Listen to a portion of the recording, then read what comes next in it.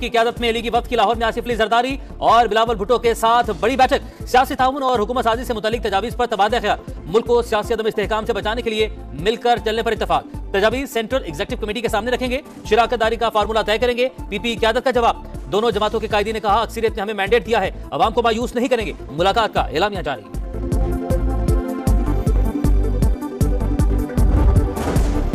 शहबाज शरीफ का एक बार फिर मौलाना फजल रहमान से रबिता। विफाक में हुकूमत साजी के लिए कोशिशों पर एतमाद में लिया। सरबरा आई ने कहा, मजलिस शूरा में मुशावरत करके लाहे अमल से आगाह करेंगे। मौलाना ने इंतबी नतज पर तहफात का इजहार भी किया।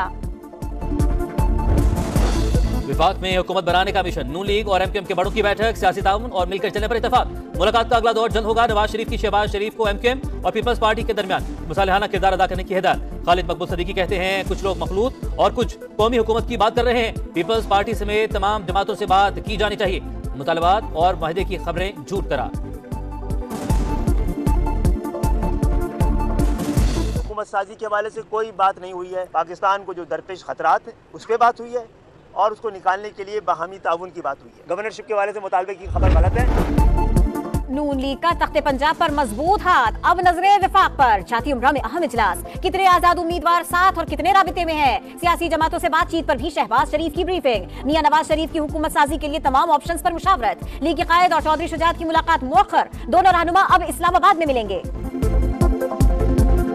अवाम के अजीम मैंडेट को खुले दिल से तस्लीम करना चाहिए, सदर मुमलिकत का पैगाम। मुतहद होकर तामीर नौ के लिए काम करने की अपील, कहा, माजी की तलखियाँ दूर करने के लिए हकीकी मैंडेट ज़रूरी था जो नज़र आ रहा है। मुश्किल के बावजूद वोटर्स बिलखसूस खातन और नौजवान। बड़ी तादाद में आज़ाद उम्मीदवार कामयाब। दीगर आठ आज़ाद उम्मीदवार भी पाते मुस्लिम लीग नून पिछहत्तर सीटें ले उड़ी। पाँच आज़ाद अरकान की शमूलियत ऐसी तादाद अस्सी हो गई। पीपल्स पार्टी ने चौवन नशस्तें हासिल की। एम क्यू एम सत्रह जे यू आई चार और काफ लीग तीन सीटों आरोप कामयाब। आई पी पी और बी एन पी की दो दो नशस्तें जिया league B A P National Party B N P और एम डब्ल्यू एम की एक एक सीट। पश्तूनख्वा मैप और पश्तूनख्वा नैप ने भी एक एक सीट आरोप कामयाबी हासिल की। चारों सूबाई असम्बली नूली की लाहौर में बड़ी कामयाबी। शेख रुहेल असगर को शिकस्त देने वाले पीटीआई के हिमायत याफ्ता आज़ाद उम्मीदवार। वसीम कादिर नू लीग में शामिल। मरीम नवाज़ से मुलाकात के बाद ऐलान कर दिया। लीगी क्यादत पर मुकम्मल एतमाद का इजहार।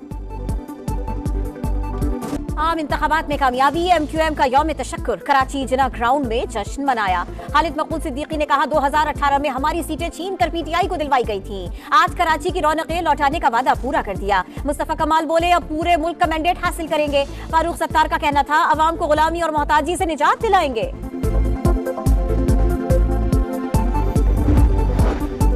मुबैना धांधली के खिलाफ पीटीआई के मुख्तलिफ़ शहरों में मुजाहरे। लाहौर में पुरतशद एहतजाज की कोशिश पर तीस अफराद गिरफ़्तार। रावलपिंडी में पुलिस के मुजाहरीन को मुंतशिर करने के लिए चाली पिशावर में पीटीआई कारकुनों का मोटरवे पर धरना। कराची में इलेक्शन कमीशन दफ्तर के बाहर मुजाहरा। सियालकोट में उम्मीदवार रेहाना डार की क्यादत में एहतजाज। अटक में तीन सौ मुजाहरीन के खिलाफ मुकदमा दर्ज। बैरिस्टर गोहर कहते हैं पार्लियामान में खरीदो फरोख्त का रास्ता रोकेंगे। वसीम कादिर से कोई रबता नहीं। मैंडेट बदलने वालों का अंजाम सब देख चुके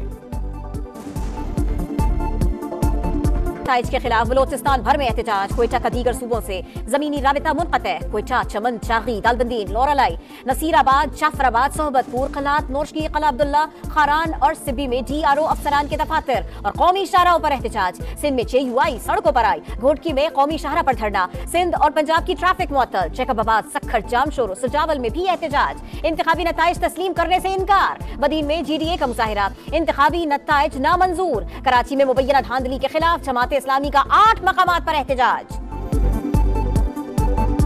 में धांधली हुई मुताद सियासी जमातों का इल्ज़ाम। सिराजुल हक का इंतबात की तहकीकात के लिए कमीशन और चीफ इलेक्शन कमिश्नर से फौरी इस्तीफे का मुतालबा। मौलाना गफूर हैदरी ने कहा, ऐसे इंतबात तारीख में नहीं देखे। डॉक्टर अब्दुल मालिक बलोच कहते हैं, ठप्पे मारकर हमारी जीत को हार में बदला गया। अवामी नेशनल पार्टी ने भी नतज मुस्तरद कर दिए। एमएल वली खान का दोबारा गिनती का मुतालबा। फौज पर हमले का इल्ज़ाम। मेहर से पीपल्स पार्टी के नौ मुंतखब रुकन कौमी असम्बली इरफान ज़फ़र लगारी और नौ मुंतखब रुकन सिंध असम्बली फयाज जिला खबर में सिक्योरिटी फोर्सेज का ऑपरेशन फायरिंग के तबादले में इंतहाई मतलूब दहशतगर्द सूरत गुल उर्फ़ सैफुल्ला हलाक। से फट गया दो बच्चे जहाँ बहक तीन अफराद शदीद जख्मी अस्पताल मुंतकिल कर दिया गया।